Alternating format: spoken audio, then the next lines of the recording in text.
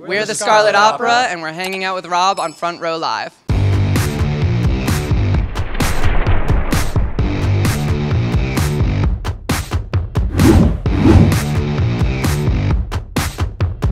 What's up, guys? Rob here for Row Live Entertainment. I'm hanging out with a band that has been blowing up here in LA, and you know, only one single out, and you guys are making a lot of noise. The Scarlet Opera. How's it going, everyone? And uh, congratulations, two sold out shows here at the Troubadour. Um, how do you guys prep for something like this? Like, y- you you come out of nowhere, and like people want to see you.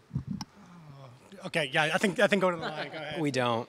This is all just spontaneous. No, no. No, it's a it's a it's a lot of. I mean, we, we rehearse a lot, but the day of shows are a bit chaotic. I know you guys were hanging out a bit before this, and you know, it's you know, we got a lot of things to pull together in a couple hours, but we do it. We manage. We manage. Hence the set. Yeah, exactly. And th- this is such an incredible set. So let's talk a little bit about the set and like, wh- what was the idea behind this this this stage show that you guys are putting together right now? Well, the last time that we played here, we had that kind of metallic um, background, uh, backsplash, and we kind of wanted to have a deconstructed theater or the theater of the future, um, which is very much what I think that we're uh, we provide in terms of theatrics. Uh, and this time, I wanted to kind of light it on fire. So that's the idea. That they're supposed to be abstract flames. We'll see what they think, the audience. Now, the place to be is such an incredible song. Uh, it's super catchy. I'm having it like in uh, on my mind like all the time. I don't know all the lyrics yet, but eventually I will, and I will be singing along with you guys. But you know, talk to me about that creative process because you guys have Dave Stewart and RØMANS, like Yeah. incredible producers, songwriters that you got to collaborate with this on, on this single. So, what was that initial process when you guys first jumped into the studio and started working together? I think it was our first time actually working in a studio as a band with other people there, um, which was different for us because we've been doing this for so long, just the five of us in basements. Um, so to work with someone like David and his songwriters were amazing, and it changed our creative process a little bit and, and kind of deconstructed it. Um, but I think we just learned a lot. We learned how to work well as a band and work really in a timely fashion because we did all the songs we did in like three weeks, um, and that will be the whole album. So yeah, it was just. Uh, an eye-opening process for how we can function as a band. Right. And we should make a note that Jessica Gumbar was also a pa- uh, part of writing um, our first single. And I would say that, you know, it's very interesting because, like he said, we started out doing this together in a room, and you really have to trust the people that come into the room. And when we met them, it, it was an immediate connection. And we met a lot of people, and they were all wonderful, but this was, this was different. It definitely sparked um, an electricity in the room. So that's why three weeks flew by, and we have many, many good songs. I can't wait. And you know, you you guys are creating your own lane. That's what that's what this music is all about. And so going into the studio, starting to write this material, how did you know that this was your sound? Like, how did you come up with this sound and say like, this is the lane that we're trying to be as the Scarlet Opera? I think a big part of that is we all come from very different musical backgrounds, and instead of going into this into this process with we want to be the best rock band, we want to be the best funk band, the best pop band. It was let's just bring the best of our individual talents into one kind of spear, one to fo- one focus. That was yeah. And you know, talk to me a little bit about that that collaboration process, because you know, how did it start for this particular single? Uh, was it lyrics that first started? Was it a melody that you guys had in mind? Was it a piano, you know, ballad that you had in mind? Like, how did that really start the process? I mean, the process is different, I think, every time. Um, I, I would say that uh, for this single specifically, the, the top line, the melodies, and the lyrics kind of revealed themselves. But I do think that as we're writing and like I, I start to hear like the first verse coming to fruition, I'm like, this, oh, this is that, you know, childhood memory, or like, this is what I want to say here. And then once you get that, you can run and sprint in a direction. And we did. Um, and so, but sometimes it's, you know, it's like one of the boys bringing in a, a guitar line and, and, we, and we run with that for a while. And it's just vowel sounds until we find words, you know? So, yeah, it's different. So were you guys hummers or scatters when you guys were trying to figure out the melody and the pockets for every single song? yeah, I think Definitely more, definitely more scat. Yeah, for sure. So as far you guys mentioned that there's there's more than there's more music that you got to do in the studio.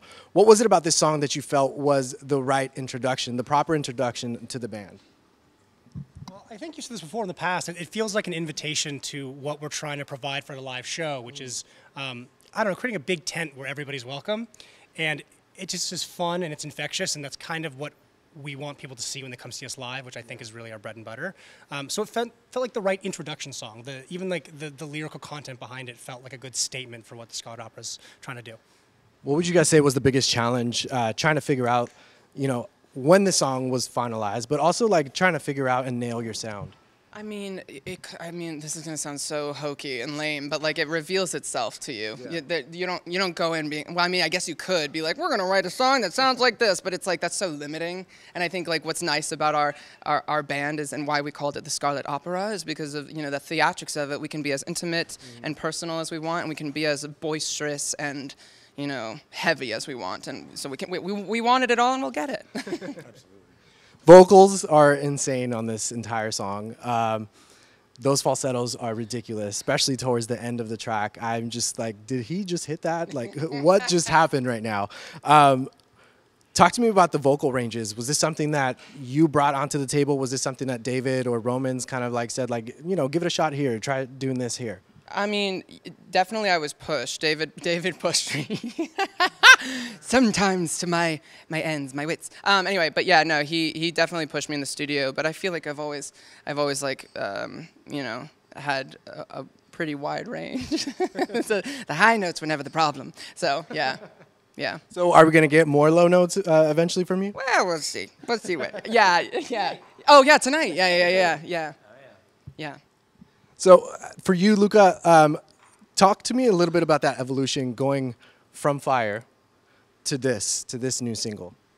Oh my gosh. I mean, it was m- many years. Many know, years and yeah. very different. Yeah, and uh, and you know everybody went through it uh, very differently, and it was difficult for a various amount of reasons. We, uh, you know, we had a hard time really being like, what is going to happen with us? So after releasing From Fire, and we felt like there was this big momentum um, from that song.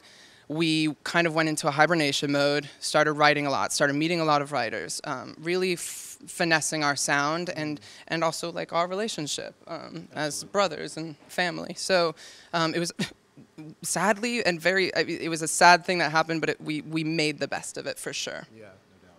Now, as far as the drums go, when you listen to Luca's, um, when you listen to Luca's vocals, how do you balance the drums at the same time? Live or in the studio? I mean, both. Um, I just want to provide like the, a perfect bed for him to just be able to go crazy over. So I just approach it kind of like Ringo used to. I just try to do what's best for the song, not really um, take up too much space, but just carve out enough for myself. So. Just in the studio. He's gonna go crazy tonight. Oh Oh yeah, I'll just, I'll just get naked and like you know. Yeah. That's done.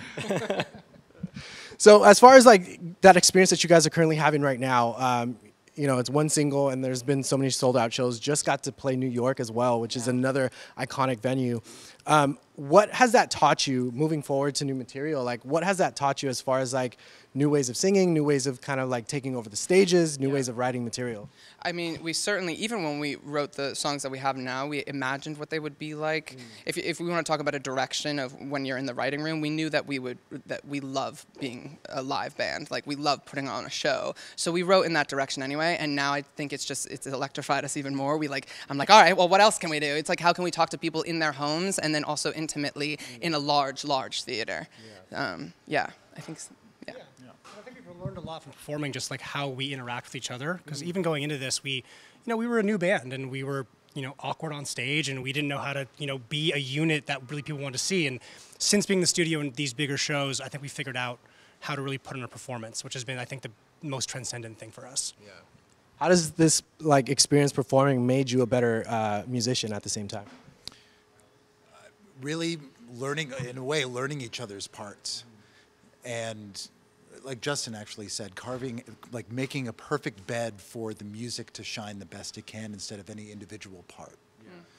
So providing the show that we provide and, and with a lot of luca's help and helping choreograph and making us understand the spaces that we're in just I don't know, just creating the best show possible naturally means that you got to step it up in terms of your playing.